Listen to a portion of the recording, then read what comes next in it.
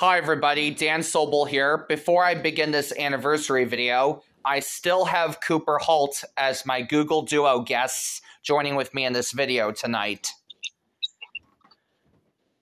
Hey guys. Welcome back to my video, Cooper.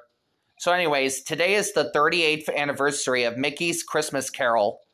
Yep, that's right. On this day in 1983, Mickey's Christmas Carol has been released on VHS and DVD and it's a very great Christmas movie. My opinion on that Christmas movie is that it's kind of decent, in my opinion. Cooper Holt, will you tell yeah, us? me too. Oh, oh, I guess you, I guess you know your opinion, right? Yes. You think it's decent, right?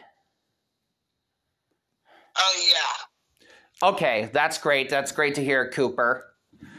Well, anyways, without the being said, happy 38th anniversary, Mickey's Christmas Carol.